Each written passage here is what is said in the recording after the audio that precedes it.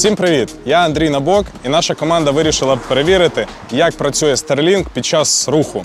Е, Ми зібрали таку невеличку конструкцію е, для того, щоб стабілізувати роботу Starlink на великій швидкості. Команда Ілона Маска вважає, що е, Starlink працює виключно на фіксованому місці. Але у нас є величезні виклики під час війни, тому нам необхідно, щоб Starlink підпрацював як на залізниці, так і під час руху на звичайному транспорті. А зараз ми перевіримо, наскільки це рішення буде стабільно працювати. Поїхали.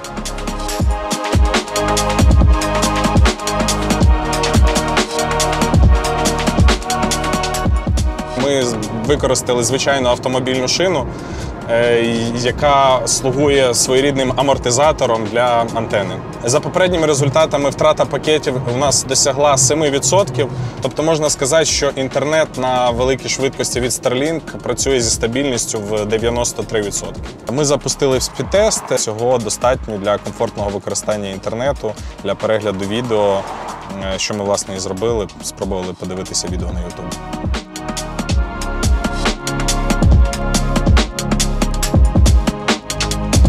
Ми завершили тестувати Starlink на швидкості 130 км за годину. Результат нас приємно вразив. Е, Втрата пакетів становить близько 7%. Це дуже класний результат для того, щоб використовувати таке рішення під час руху і на залізниці. Е, В Україні зараз е, знаходиться і працює більше 12 тисяч комплектів Starlink. Це найбільший показник в Європі. Наразі Starlink використовують інтернет-провайдери, лікарні, школи, енергокомпанії. Але тепер ми побачили, що також Starlink можна використовувати під час руху на авто або потягах, наприклад. Результати тестування ми передамо до SpaceX для подальшого їх вивчення. Ну і продовжуємо боротьбу на телеком-фронті. Далі буде.